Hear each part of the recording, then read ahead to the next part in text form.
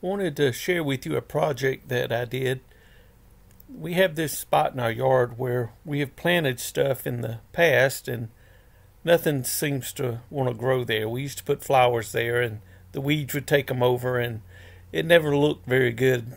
So we've decided that we're going to put a water feature here. We're going to install a pondless fountain right here.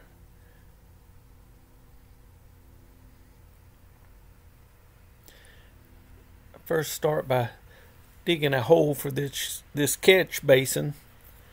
Uh, this catch basin is about 12 inches by 12 inches and it's about 12 inches deep as well but it's about the right size for the, the pump that I'm going to be using.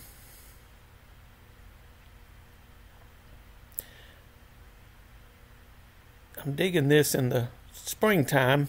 We have just red clay here in our yard, and if you don't dig early in the spring when the ground is still soft, you can't dig in the summer. It's just too hard. So I've caught it at the right time. The ground's fairly soft, so I'm able to to dig fairly easy.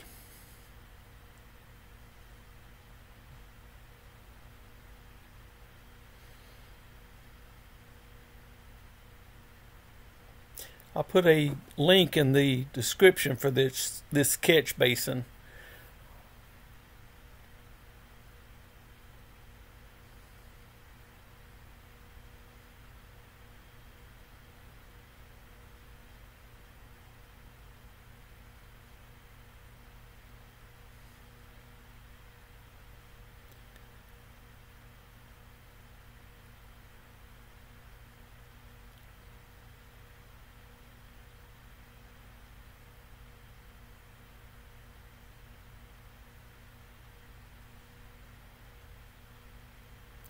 So now that I've got my hole the size that it needs to be for the catch basin, now I'm going to dig a trench along from the catch basin over to where my fountain is going to be at so that I can run the water pipe from the pump over to the fountain. And I'm placing the dirt around the edge to where it'll be higher around the edges of where I'm going to put my liner so that the water doesn't run beyond the, the fountain.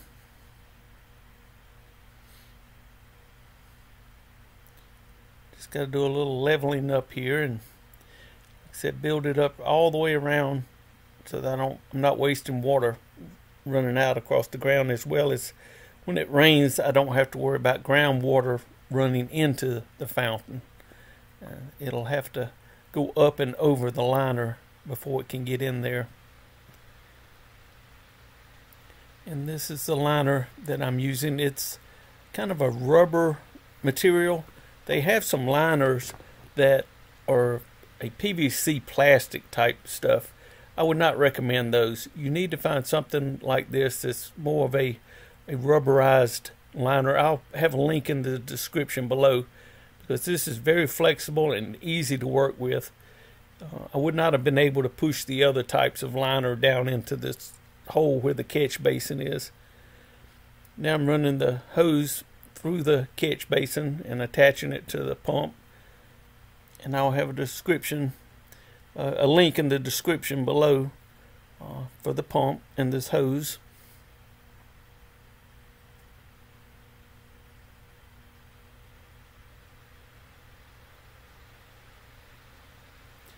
And I got these pots from Home Depot and I'm going to use them as the actual fountain.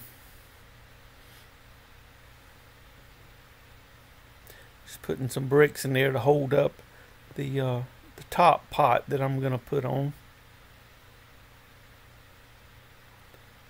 And after I get it, the hose run all the way, I cut it the length it needs to be.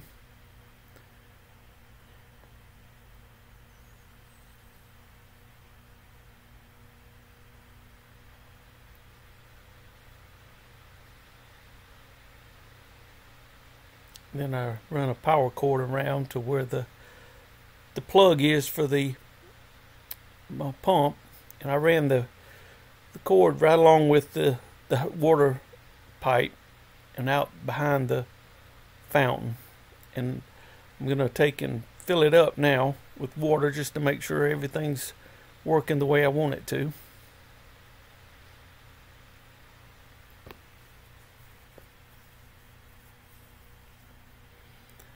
So now I got enough water in it that I can plug the pump in and let it start filling. So it's going to fill up the uh, two pots and then it'll start spilling over and running back down to the catch basin.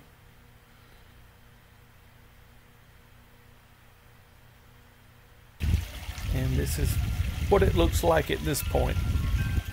I'm going to put some river stone all over this area. We found some riverstone at a local landscaping company and I went and bought a pickup truck full of it.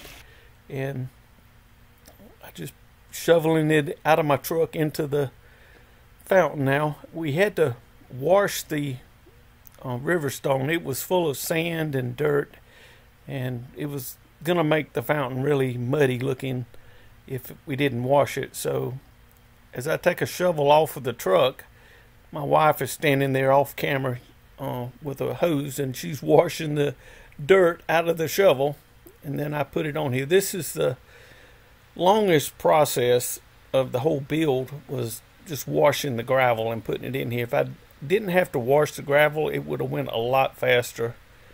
But this Riverstone gravel that I'm putting in here, it had to be washed before we put it in here because I just would not have been satisfied with it.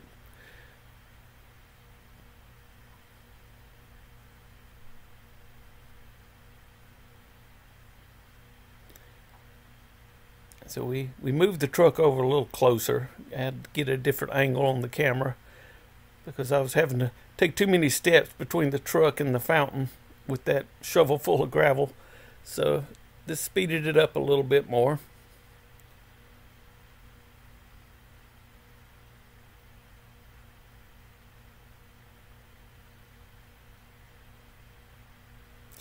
This whole project, it only took us one day to do it from start to finish. Uh, it wasn't that big of a project.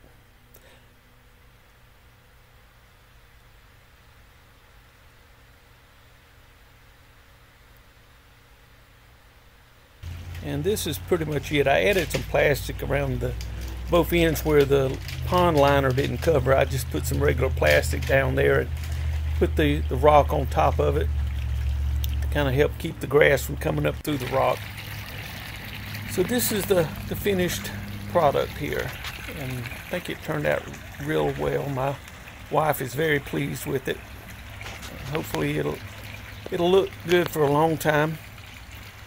It'll be a lot less maintenance than what it was before with trying to keep the grass and weeds out of it. We've added a, another pot at the base of it, as well as a, a cement stump there with a turtle on it, just to kind of add a little more decoration to it. And we also purchased some lights and put out in front of it so it would shine on it at night. So this is what it looks like at night.